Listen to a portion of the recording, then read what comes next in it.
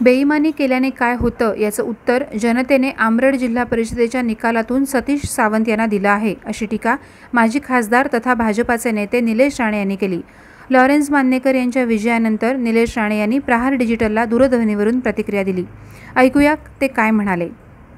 आंबरडची जी जागा आहे ती सतीश सावंत जी जिंकला होता. ती राणे साहेबांच्या नावाखाली किंवा नेतृत्वाखाली जिंकला होता. त्याचं स्वतःचं वैयक्तिक. कारण का आंबरड मतदारसंघ हा येतो कुडाळ मतदारसंघात. तो कणकवली मतदारसंघात येत नाही. आणि सतीश सावंतांचा मतदारसंघ पूर्वीचा तो कणकवली तालुक्यात येतो. कुडाळ तालुक्यात नव्हता. हं. डिलिमिटेशन नंतर हा हा सगळा बदलला मतदारसंघ.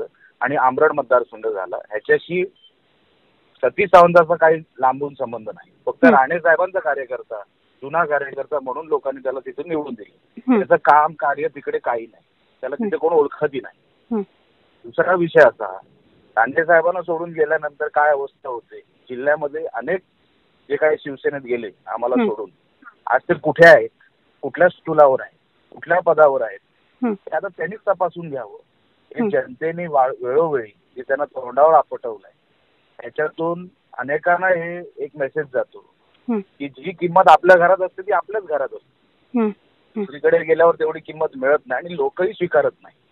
तर ठीक आहे अजून मधून आमच्याही एक एका निवडणुकी निवडणुकीमध्ये आमचाही पराभव होतो पण. सतीश सावंतचा हा पराभव हं. हा जनतेने त्यांना धडा शिकवलाय की बैमानी करून काय होतं ते बैमानीचं उत्तर आज जनतेने त्यांना दिलंय राणे साहेबांनी पंचवीस वर्ष तुला सगळं काय दिलं आणि पंचवीस वर्षानंतर तू विचारतो सगळ्यांना की राणेंनी काय दिलं तर हे जनतेने त्या बैमानीला दिलेलं उत्तर आहे आणि सतीश सावंत आज पडलाय हे खरोखरच आज हे बीजेपीच्या कार्यकर्त्यांचा विजय आहे राणे साहेबांच्या विचारांचा विजय आहे आणि सिंधुदुर्ग जिल्ह्याने परत एकदा दाखवलंय की राणे साहेबांच्याच विचारांवर चालणारा हा जिल्हा आहे मतदारसंघ वेगवेगळे जरी असले तरी आणि. म्हणून या गोष्टीचा माझा आनंद मला आनंद आहे.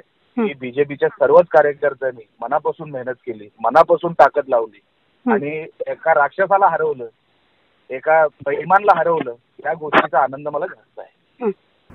प्रहार डिजिटलसाठी अनघा निकम मगदूम रत्नागिरी.